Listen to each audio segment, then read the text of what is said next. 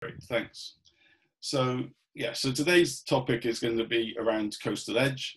This is coming from uh, our program, which is a European program called Future Foods, as it says on the screen.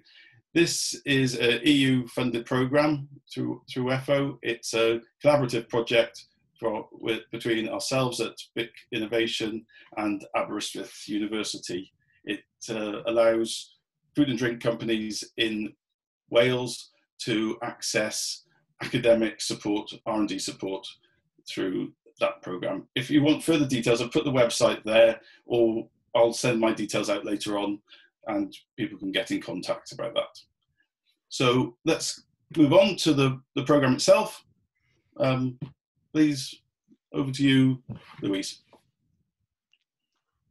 Hi, morning everybody. Um, we're just going to run through a number of slides um, between myself and Natalie, which will hopefully just provide some insight and also spark some some debate. Um, so just setting the scene to start with, I just wanted to put in context uh, the seaweed and microalgae production and the size of the market at the moment. So as you can see, it's it's all about Asia. Um, the majority of what they produce is around um, seaweed and also oils related to seaweed.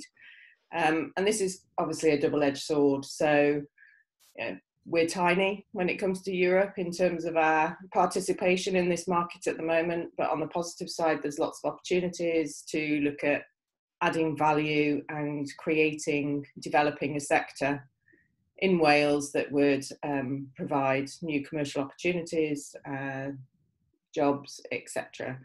Um, so, yeah, I think that's why we're we're all we're all here and talking about this this industry because obviously a lot of people see that there's opportunities for for the region.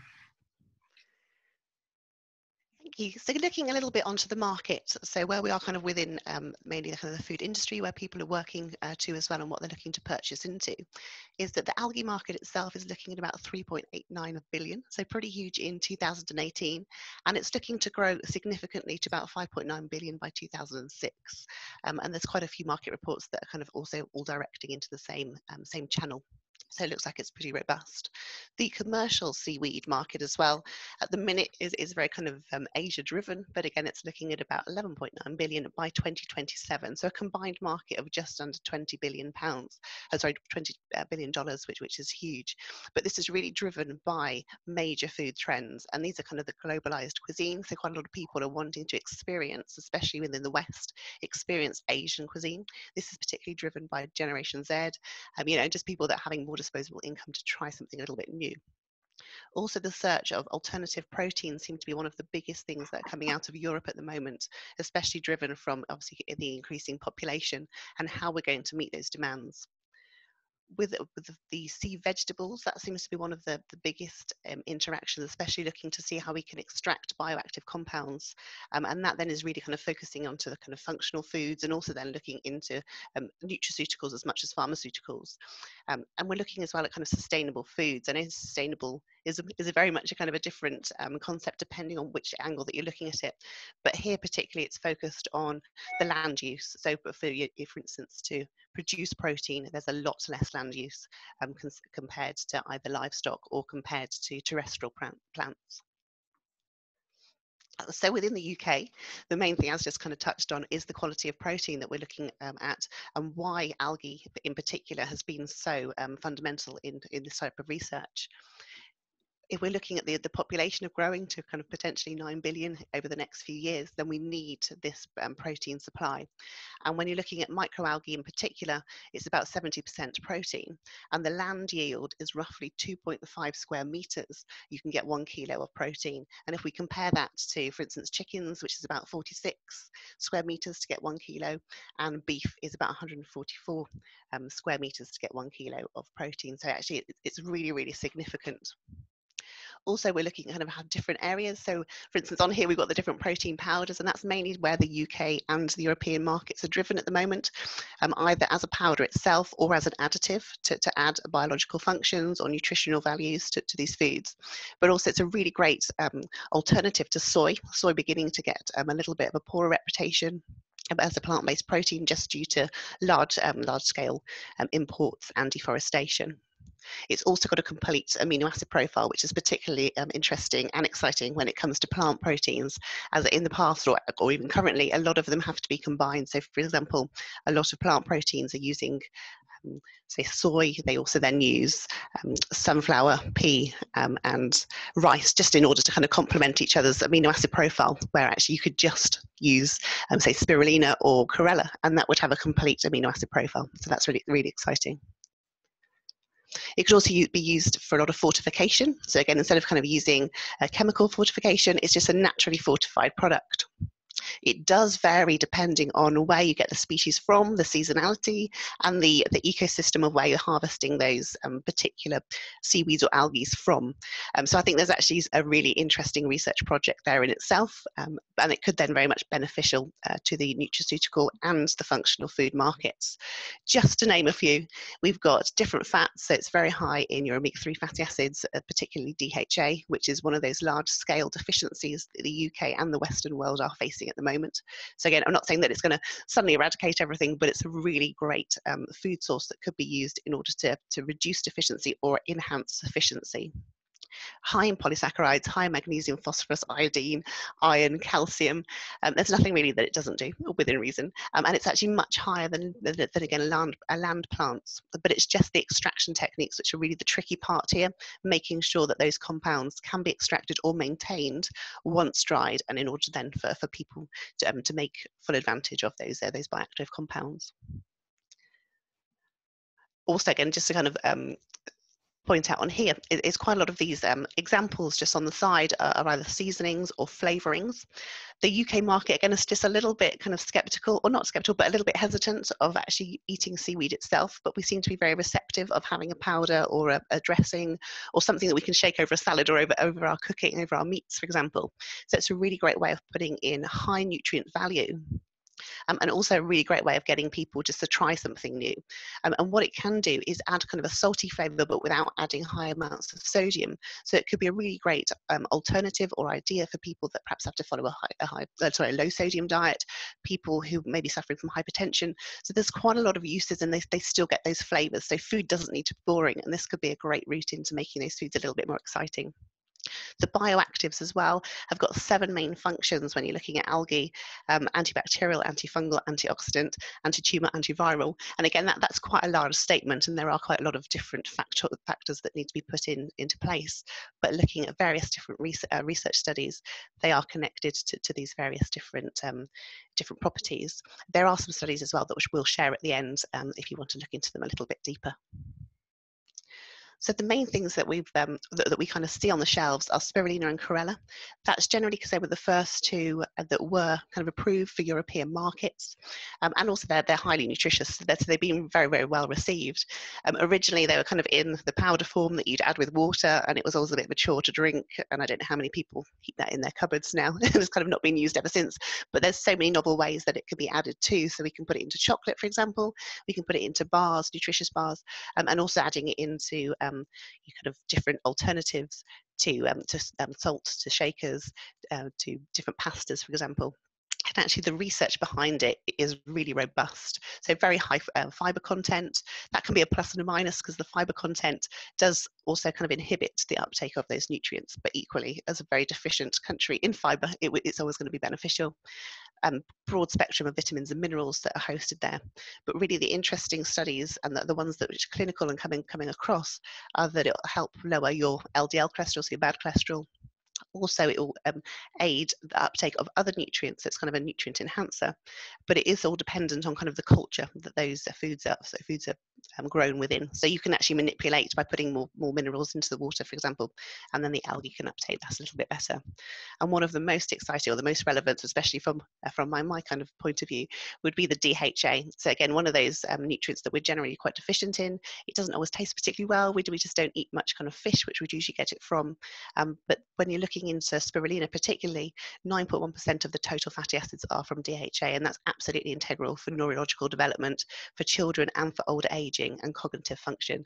So I think particularly relevant, especially in, in, in this world today. So the key trends, so just looking at those, when we find with with algae, they really fit everything. So, so it does fit particularly well. It's got to be functional. You've obviously always going to be high protein, but it's a plant-based and a vegan version of protein. Not to say that you can't have it with with a meat accompaniment. It's very very versatile. Environmentally, it's sustainable natural goodness again i don't think that there's many uh, many foods out there that can boast what you can kind of get into algae in such a small amount of, of um, of product and what we could look at is trying to get the convenience so that's kind of where where perhaps algae at the minute is is got a little bit of a hurdle is having it in a convenient source. So again, I'll come on to a few examples in a moment, but you might want to have them in, say, for example, a crisps version or a drink, something that people can get in.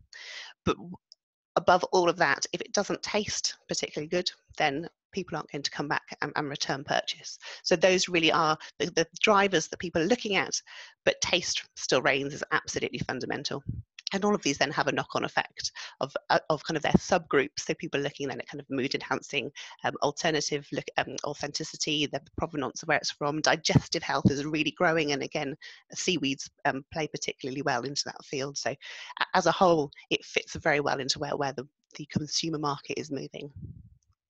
So I'm just going to hand over to Louise just to go through some some really, very exciting research that was conducted earlier this year.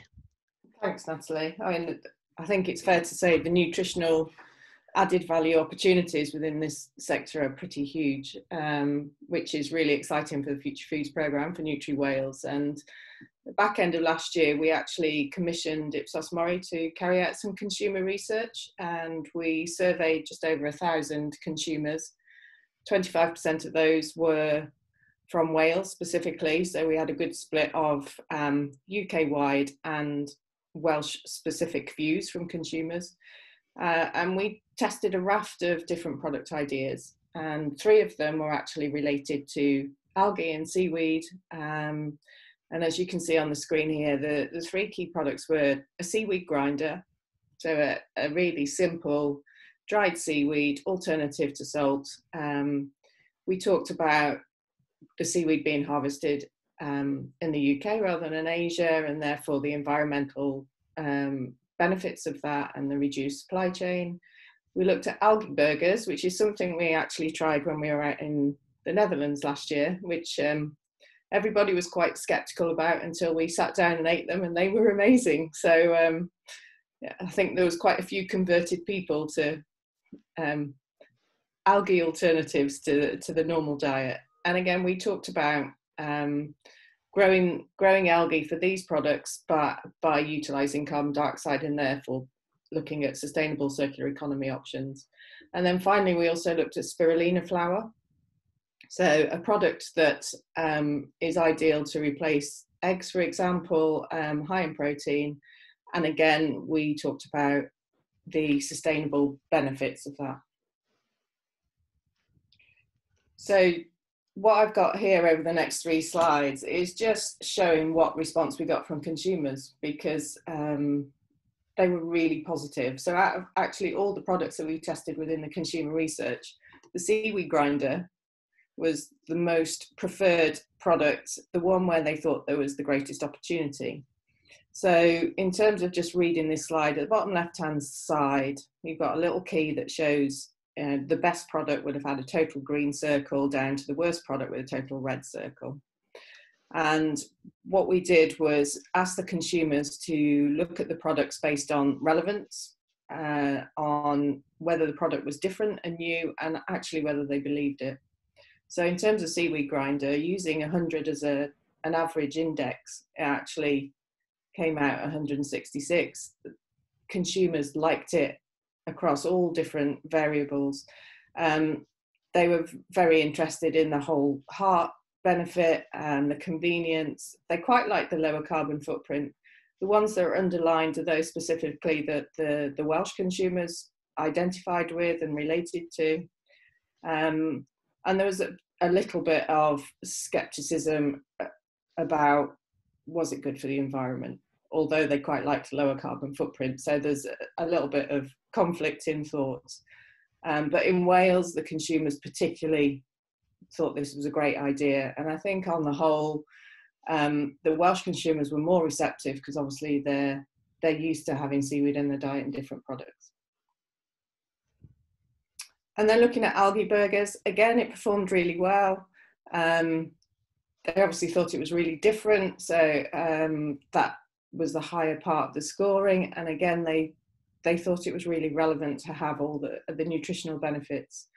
Um, I think one of the key things that Natalie's just talked about is, you know, taste is really important, and that was where there started to be a little bit of um, doubt about whether this is a product that they, they would actually like to try. Um, you know, algae doesn't sound great, and does it really taste good? So, you know, I think anything like this is about educating the consumer, but also you know, getting products to try. And then finally, the spirulina flour. Um, again they thought it was good they didn't see the relevance quite as much and i think obviously uh, this kind of product is going to be more skewed towards uh, vegan diets so maybe as a whole the thousand consumers weren't as engaged with that specifically but overall again you know the whole nutritional benefits were great um, they were a bit skeptical about how does this actually support the environment uh, and again there's a there's a big part to play in terms of anything that we develop in this in this sector from a sustainability point of view and making sure that we're educating the consumer. So just to conclude on this, um, algae as a word was quite off-putting.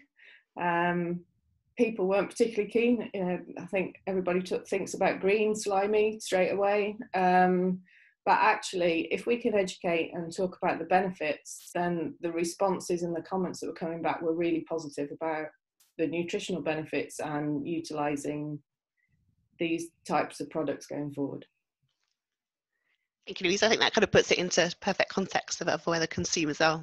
Just to kind of highlight on a few things here. So these are other existing products that are, are commercially available a lot of them do cross over. Um, so, for example, omega 3 is already um, very much a neurological enhancer. But again, when consumers are looking for products, these are the main searches that they're putting in. Um, and there seems to be a seaweed or an algae um, associated product for most of these things. And again, a lot of them are very much nutraceutical based rather than food based. And I think that's just where the, the UK market is coming from at the moment. We've been more um, ex- exposed to powders or tablets or kind of capsules rather than foods, but, but the foods are becoming very, very well accepted. And the, the benefits from these foods is, you know, can be huge. So looking at different commercial opportunities um, and, and, where we can kind of go from here, um, products such as beta carotene was actually one of the first things that was extracted from um, spirulina and, and, sold commercially, and that that may be why spirulina has been so um, has been so successful to date but it's the purity of these extracted bioactive compounds um, that is key. And also they, they do add, they're expensive to extract, but also they, they do add value to the product themselves um, and the functional compounds. And it's kind of making sure that, that those functional benefits are explained well to the consumer without going into kind of a, a, too much of a scientific explanation, as sometimes that could then make it sound like it's actually being chemically enhanced. So it's, it's the, that challenge really of marketing to people um, but it really is those health factors that are the main driver at the moment, especially in the current climate that we're living in at the minute. People are looking for foods that are naturally fortified. So areas that can kind of be looked at, but also are being looked at at the moment, microalgae as a, food additive, and again that's already being used um, within some compounds. So we've got various different ones of, um, say like carrageenan, which has been used for, for many many years as, as a thickener and stabilizer. We've then got microalgae to deliver bioactive um, compounds to stimulate the growth of different bacteria. So again, if you're looking at it more of a, a vegan or a reduced animal-based product, you can then start using these types of compounds in, but it also works well onto milk products themselves. Um, you can use it to promote functionality and the, uh, the nutritional profile. So again, going back to, to the previous slides when we were looking at um, powders, there's a lot of protein powders, particularly vegan protein powders, that have now added in a um, an algae element. So, so again, because it just naturally enhances the mineral and vitamin profile hugely, and also the, the fatty acid profile, without them having to manipulate anything amino too much. Salt alternatives, I think, is, is a huge potential opportunity, especially again with uh, with the global epidemic of um, of obesity and diabetes. Sustainable packaging is a really interesting one, and um, we'll come on to a, to a slide in a moment just to demonstrate a couple of those. Alternative animal feeds, so again looking at um, different kind of ruminant feeds, or it could be poultry feeds. There's been a lot of research into that, um, and also pigs. Um, an interesting uh, study that was conducted looked at actually reduce the E. coli within within pigs, um, and also the help helped their um, any of their digestive problems, and it was only a very small amount. It was about five percent of their whole total feed. And also by using algae and seaweed or the marine um, cultures can also help a circular economy tool, um, you know, reducing waste and adding value. So just to kind of highlight on here, we've seen um, you know, sustainable farming use or, or trial foods to, in order to, to, reduce the methane produced by cows. And again, this can really enhance then that particular market. So it kind of takes away the um, the association that, that kind of uh, livestock farming is, is kind of a high um, greenhouse gas emissions also as a biostimulant or as fertilizers for plants, um, edible or just kind of you ones that you might have in your garden. Nutrient enhancers, again, as spoken about already, you can pop it into existing formulas um, to enhance your products. And again, most of it will go pretty, pretty well to most products. Um, decrease oxidation, so again, it, it, it's an antioxidant itself, so by adding it, you can then prolong the shelf life bioactive compounds of probiotics. So again, probiotics and microbiome are a huge, huge topic at the moment uh, and selling particularly well, especially their association with immunity. Stabilizers, as already mentioned, for example, carrageenan and alginates. You then got salt alternatives and packaging. So here's a really interesting, um, Just Eat have been working um, well together with Notpla and they've been putting together a um, kind of a sachet. Um, but as, as Louise was explaining to me yesterday, how it, it, actually it it degrades quite quickly. So it's absolutely superb the consumers apparently were loving it because it's very easy to open but it doesn't have a great long shelf life so that's kind of a plus and a minus you know um, so so that's one area to really be explored and be looked into um, I'm just going to hand over to Louise Allrod just to explain a little bit um, about the SIG. I'll let Louise do this bit. Thank you. Um, so this is really looking from a Nutri Wales clusters perspective. Um, what we would like to do, and we've we've started doing, is develop a special interest group around all of the areas that are detailed in the left-hand bottom box, really. Um, so although we focused very much on um, seaweed and macro micro algae today, there is a huge raft of interest and opportunity across all of these areas. Um, in particular, aquaculture is really gaining momentum in terms of the number of people interested in developing this industry, people who are already working in it, researching areas. Um, and with the, the coastal format that we have in Wales and the abundance of you know, natural resources, there's a real opportunity to do um, some really exciting collaborative projects. And that's what we would like to help develop as part of the Nutri Wales cluster um, whether it be looking at research, ideally doing some study tours when we can actually get out and about and look at what's happening um, globally and understand um, you know, best practice and opportunities. Um, also doing the likes of what we've done with Ipsos Mori in terms of the consumer insight research and expanding that if we need to, uh, and really delving into infrastructure feasibility studies and working with the Welsh Government, the Food Division, with the Fisheries Division, and also some of the, the regional councils so that we can actually look at how we can put a lot of the discussions into action and take it forward as a as a future industry for the region. Um, so if people want to get involved in the special interest group, you know, it'd be great for you to get in touch and we can start progressing conversations, introducing people to each other, and looking at how we can develop something quite exciting with all the opportunities that there are. So that, that concludes the, the slides. I'll hand over to Rod. If there's any questions coming through, we welcome those. Yeah, please, guys, if, if you want, if you have any questions for the panel, um, fire away. I'll have a little read of that in, in a second. Um, really interesting. Thanks, guys. I could, I was getting the message. There's an awful lot of info in there. Um, you seem to be very positive. This area, uh, Natalie. I could, I could. It's tell. huge. Yes, I, I, don't think there's many foods out there that will, or, or areas out there that really could um, enhance people's well-being. Genuinely, there, there's many things out there that have associations, but this does seem to tick many, many boxes. Yeah, I, and I, I, had one uh, question that came in, which was uh, actually, are we talking about microalgae or macroalgae and seaweeds? And I, I was saying that we're, we're, talking about both here, aren't we? There's opportunities in, in, in both areas. Um, okay, I'm, I'm, I'm, probably going to start drawing this to a close now, unless anyone's got any final questions before we uh, we conclude. Um, I think is there some things we want to share before that finishes? Louise, you seem. Yeah, there's just um, there's one uh, project that I wanted to raise, which I know some of um, the attendees will know about. Um, we are running an international collaboration project with Brittany. Um, so Brittany are, um, I think they have 90% of um, algae uh, farming, harvesting, etc. within France. Um, they've got a really developed uh, industry around both macro and microalgae, and we we were due to be going out to Brittany in March, but that kind of all came to an abrupt end.